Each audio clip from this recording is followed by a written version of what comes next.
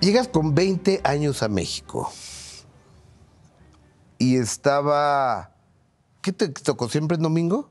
Claro, el primer programa que yo hice. Con Raúl Velasco. Estaba Raúl. ¿Y sabes qué es la, la curiosidad más grande? Es que yo, durante los últimos dos años, eh, veía Galavisión, que era el canal de las estrellas, lo que se Claro. retransmitía internacionalmente, Ujú. y yo veía siempre en domingo, desde casa, y yo siempre decía, ahí voy a estar, en nada, ahí te caigo. Siempre. Lo que nunca supe siempre. es que iba a ser el primer gran escenario que iba a pillar, que, que iba a pisar en mi vida. Eso sí que ya, sí que eso ya era como decir, Dios mío, o sea, eh, Siempre en domingo. Siempre en domingo, con Y para Raúl. conducir el programa, queda con ustedes el señor Raúl Velasco, Raúl ¿te Velasco. acuerdas? Toda una época Velasco, ¿no? Pues que Raúl era una persona muy comprometida con la cultura, ¿Cómo no?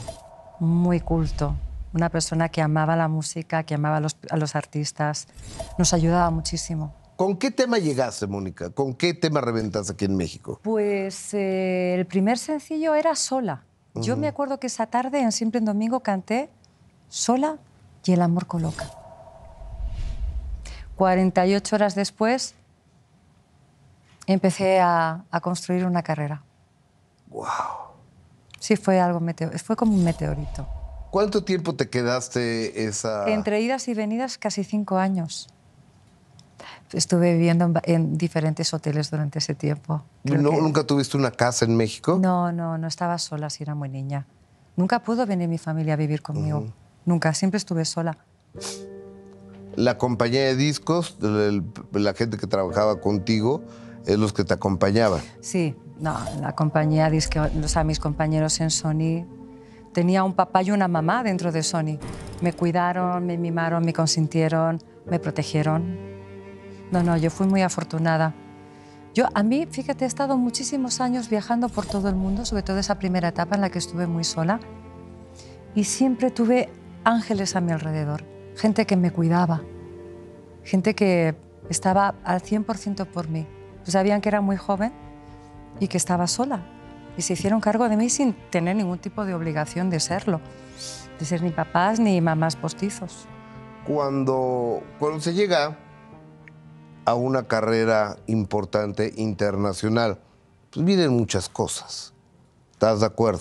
¿A qué te refieres? A eso es a lo que voy, a eso es a lo que voy. Entre ellas, entre ellas, las difamaciones y los ataques.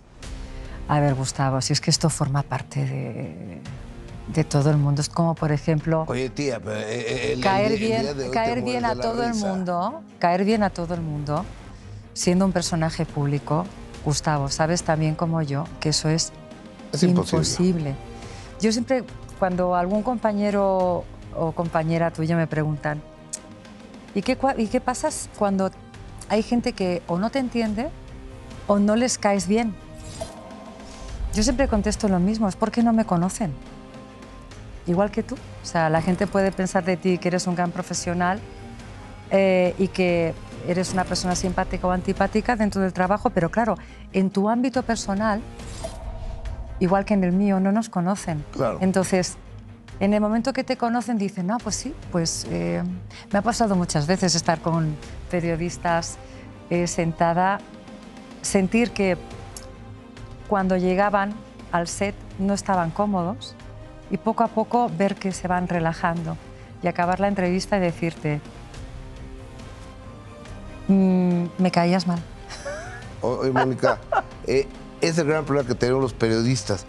Si la que tiene que relajar eres tú, que eres la estrella, no nosotros. No, pero yo- Somos el medio nosotros. Sí, pero Pe- es es que que- nos desubicamos nosotros, los que estamos de este lado. ¿Sí, tú crees? Sí, está, por supuesto. Estamos, los medios ya perdimos muchas veces la dimensión que somos medios, que estamos entre los que generan la noticia, que son ustedes, y el más importante, que es el público. Pero al final te digo una cosa, la responsabilidad también la tenéis vosotros. Sí, claro. Porque al final, o sea, a través de la televisión os toca educar también, sois parte de la educación eh, de una sociedad. Eh, a veces dices, no, es que el artista genera la noticia. No, a veces el artista no genera la noticia. A veces simplemente sale una noticia de un fake que de repente se hace una bola muy grande.